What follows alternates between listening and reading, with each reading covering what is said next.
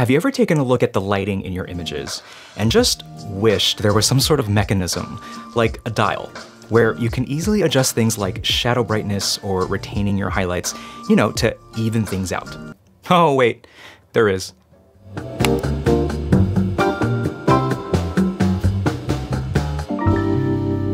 All right, kidding aside, what I'm really talking about is when you're trying to perfect it in camera, meaning that you're making all sorts of adjustments to your light to make these sort of changes. Well, as much as a simple dial or even a slider would help and be really nice to have, it's just not realistic. But in this video, I'm gonna go over a concept that, by applying it to your shoots, can act almost as if it was this magical dial to help make it easier for you to get your lighting precisely where you want it to be.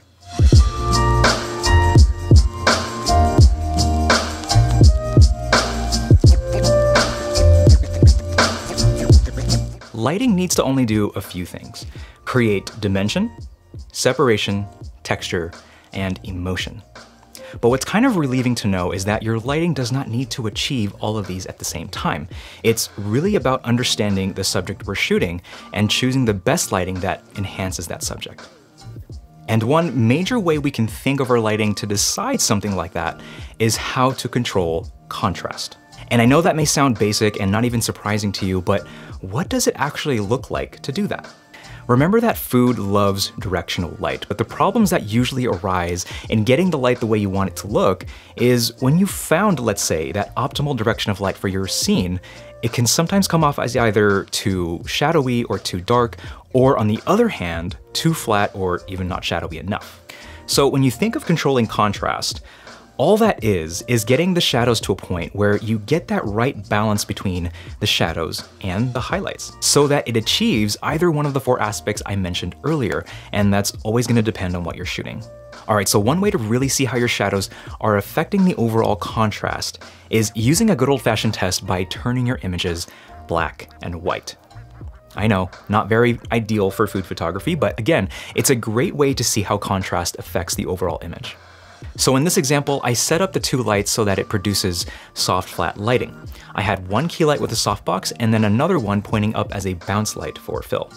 And then in the second scene, I turned off the fill light and just had the key light lighting my scene.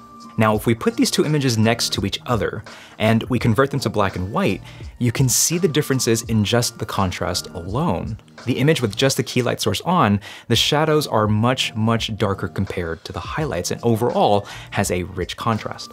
In the other image, shadows are a little bit closer to the highlights in terms of brightness and therefore has less contrast. This comparison between shadow and highlight is what is known as the lighting ratio. Now you may have heard this before, but hear me out. The lighting ratio can be regarded both as a concept and a technique. The concept though is what we're gonna be focusing on here because the technique actually requires a lighting meter, which is a device that measures the exposure value of a given light at a certain point in space. And it's used to calculate the ratio numerically almost with exact precision. Now, I do not own one of those because they're quite expensive, nor do I expect you to have one yourself. So instead, as a concept, the lighting ratio simply describes the differences in tonal value. And that's it. So if we revisit the question of having a dial to control contrast, this can be that dial. Whether you're using fill cards or additional flashes, it generally helps you attain more of that control over the look of your images. And I don't know about you, but that's exciting to know that's even possible. So what does this look like in practice? Well, I'm gonna show you two main examples, one with moody soft lighting and then one high key hard light scene.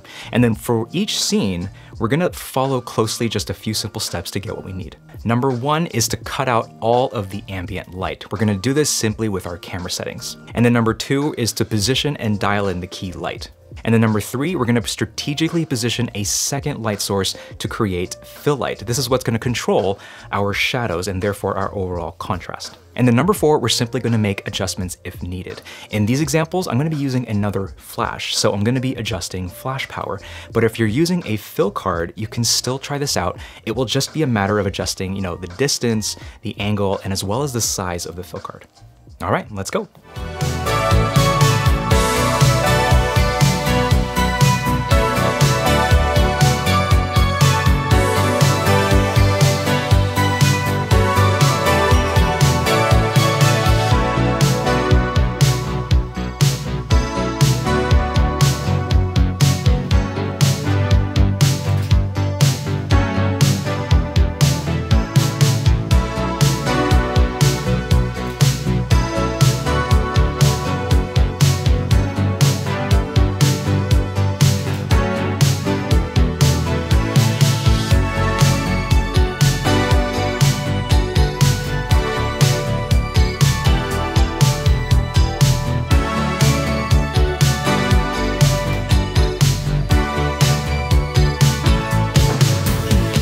Times where we like where the key light direction is.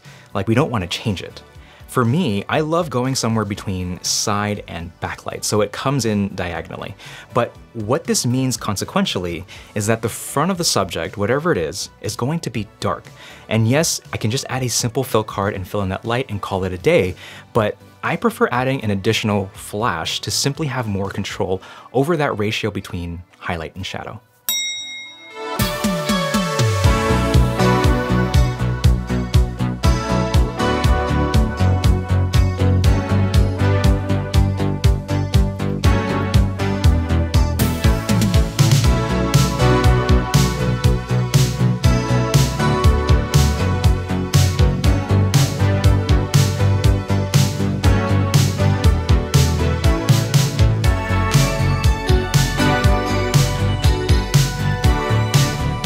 Think at first glance, the two images look very similar, even with the additional flash added. But if you look closely at the image with the additional flash, it has more detail in the shadows. In fact, for the image without the secondary flash, if I were to click on the exposure warning here in Capture One, it's basically telling me that these shadows are in danger of being clipped or having no information in them. So even though these two images look very similar, the image with the added flash gave this image more balance in terms of contrast. And yes, I'm aware that it's purely subjective at this point, but even just as a best practice, I think retaining shadow areas like this can go a long way when you take this into post-production, or even when you take these images into print, which is a whole other monster in and of its own, but this is always a great place to start. Now, if you're wondering, does this mean I have to get two flashes to get great images? No. No, that's not what I'm saying at all. Whether you are a one light show or use multiple lights, by thinking in terms of light ratios, rather than just a cookie cutter way to fill in light, and I'm not saying there's anything wrong with that, this can open up more possibilities in what you can do, not just with your shadows, but with your lighting overall. Alright, give this video a thumbs up if you found it helpful and subscribe to this channel so that you don't miss out on future videos and announcements. And speaking of announcements, sign up for my email list because there is where I will make official announcements via email. In fact, I'm in the middle of making a food photography lighting course, and it's been so much fun scripting and planning this thing, and I'm getting really excited to announce it in the near future. So make sure to sign up so you don't miss that. Other than that, as always, I hope you're doing well and I hope you're safe, and uh, talk to you next time you.